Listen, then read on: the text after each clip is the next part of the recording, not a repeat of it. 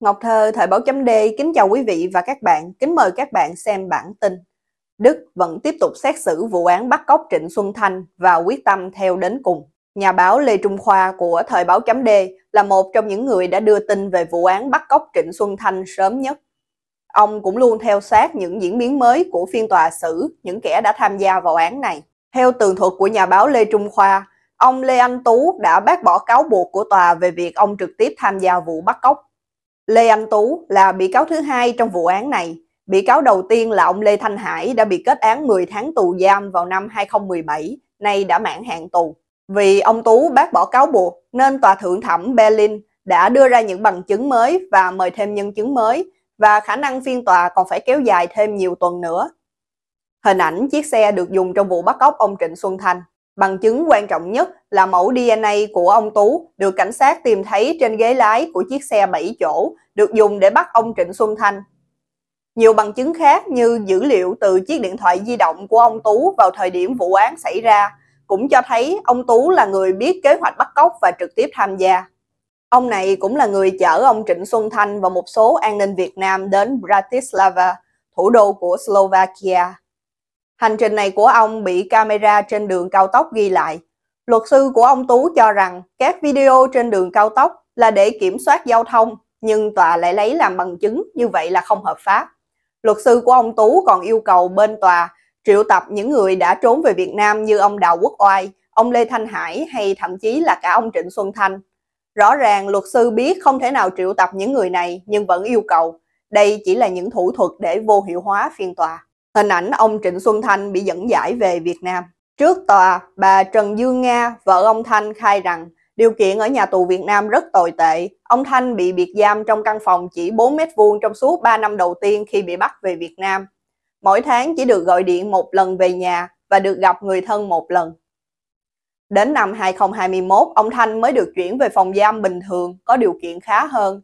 Ông phải đi lao động và học tập cải tạo mỗi ngày cùng với những tù nhân khác.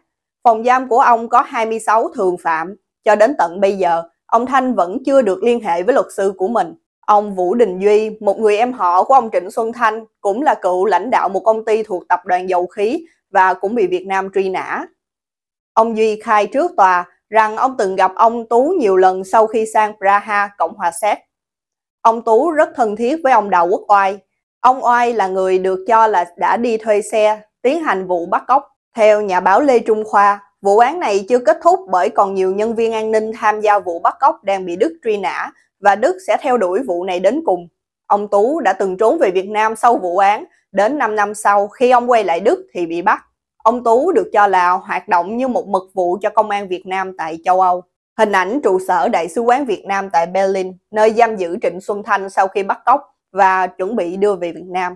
Sau khi Đức mở phiên tòa xét xử ông Lê Anh Tú thì cơ quan hình sự quốc gia Slovakia đã mở lại hồ sơ điều tra những quan chức chính phủ của họ có dính líu đến vụ này. Bộ trưởng nội vụ lúc đó là ông Robert Kalinyak cũng bị nghi ngờ là đã biết rõ nội tình nhưng vẫn cho phía an ninh Việt Nam mượn máy bay, thậm chí còn yêu cầu Ba Lan cho bay qua không phận với lý do công vụ. Vụ bắt cóc Trịnh Xuân Thanh khi ông này đang nộp hồ sơ xin tị nạn tại Đức là một vết nhơ của Việt Nam trong mối quan hệ đối ngoại khi chính phủ Việt Nam còn chưa chịu thừa nhận và phối hợp điều tra với chính phủ Đức, thì vụ án vẫn chưa thể chấm dứt.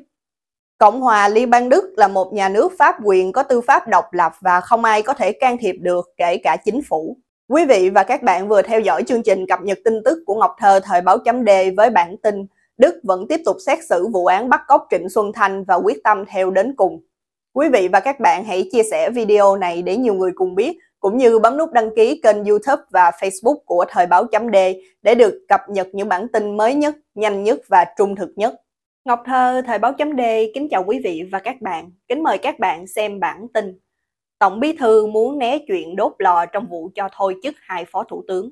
Sau phiên họp bất thường của Ban chấp hành Trung ương Đảng trong ngày 30 tháng 12 năm 2022, việc cho Phó Thủ tướng Thường trực Phạm Bình Minh và Phó Thủ tướng Vũ Đức Đam thôi chức đang trở thành đề tài nóng theo bình luận của những người quan sát tình hình chính trị, sự kiện này có khả năng liên quan đến chiến dịch đốt lò của ông Trọng. Bài viết thực hành nêu gương trong sinh hoạt chính trị cấp cao của tác giả Nghĩa Nhân xuất hiện trên báo Việt Nam Net ngày 4 tháng 1 năm 2023 dường như là một kiểu định hướng trước sự quan tâm của dư luận. Hình ảnh bài báo thực hành nêu gương trong sinh hoạt chính trị cấp cao của tác giả Nghĩa Nhân trên Vietnamnet ngày 4 tháng 1 năm 2023. Để nhấn mạnh rằng đây là chuỗi sự kiện đặc biệt, tác giả nêu ra trường hợp từ chức của ông Tổng bí thư Trường Chinh trong lịch sử đảng xảy ra vào năm 1956 vì những sai lầm trong cải cách ruộng đất.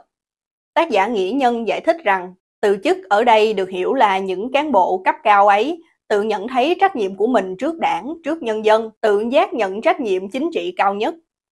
Hoàn toàn không phải vì những hạn chế, khuyết điểm hay sai phạm mà tìm đến từ chức như thể thoái thác trách nhiệm. Cũng trong bài viết này, tác giả dẫn chứng về những trao đổi giữa tác giả và các ủy viên trung ương trong đợt sinh hoạt chính trị đặc biệt này. Họ đều cảm nhận rằng Phó Thủ tướng Phạm Bình Minh, Phó Thủ tướng Vũ Đức Đam là những người tham gia nhiều nhiệm kỳ trung ương, giữ cương vị cao, nhưng nhận trách nhiệm chính trị và nêu gương như vậy thì cũng sẽ mở đường để các đảng viên khác nếu tự thấy mức độ hoàn thành không tốt cũng sẵn sàng nghỉ để nhường vị trí cho những người khác. Tuy nhiên, có vẻ như việc bài viết muốn định hướng sự kiện hai phó thủ tướng bị thôi chức trở thành việc khuyến khích từ chức, khuyến khích nhận trách nhiệm chính trị và thực hành nêu gương trong sinh hoạt chính trị cấp cao lại càng thể hiện nhiều mâu thuẫn. Vì quyết định cách chức này xảy ra trong một phiên họp bất thường của Hội nghị Trung ương. Hình ảnh Ban chấp hành Trung ương Đảng họp bất thường vào tháng 6 năm 2022 để kỷ luật ông Chu Ngọc Anh và ông Nguyễn Thanh Long. Mặc dù tác giả Nghĩa Nhân nhận định đây là chuỗi sự kiện đặc biệt, nhưng chỉ nêu lên việc hai phó thủ tướng là cán bộ lãnh đạo cấp cao nên nhận thức phải có trách nhiệm chính trị trước đảng, trước nhân dân và nhận trách nhiệm chính trị ở mức cao nhất. Khi tác giả đề cập đến sự chỉ đạo của ông Nguyễn Phú Trọng đã trích lời ông trong hội nghị trung ương bất thường vừa qua rằng Tổng Bí thư bày tỏ sự đánh giá cao của Bộ Chính trị về hai cán bộ cao cấp của đảng, đều là những đồng chí qua rèn luyện, trưởng thành và có nhiều đóng góp. Nhưng đến lúc này khi thấy mình đã nỗ lực hết sức nhưng không đáp ứng được yêu cầu, nhiệm vụ thì đã chủ động dừng lại, rút lui trong danh dự. Đây là thực hiện đúng trách nhiệm nêu gương của cán bộ, đảng viên, trước hết là Ủy viên Bộ Chính trị, Ủy viên Ban Bí thư, Ủy viên Ban chấp hành Trung ương. Hình ảnh ông Tổng Bí thư Nguyễn Phú Trọng chủ trì hội nghị trung ương bất thường ngày 30 tháng 12 năm 2022. Cùng với việc so sánh tấm gương từ chức của ông Trường Chinh, có thể thấy mục đích của bài viết là bẻ lái dư luận, rằng hai ông Phạm Bình Minh và Vũ Đức Đam đã tự ý từ chức chứ không phải bị kỷ luật.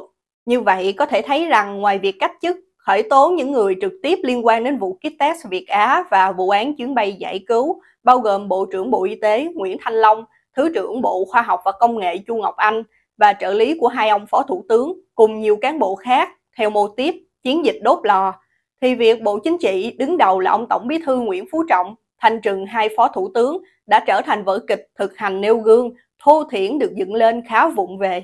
Quý vị và các bạn vừa theo dõi bản tin Tổng Bí thư muốn né chuyện đốt lò trong việc cho thôi chức hai phó thủ tướng.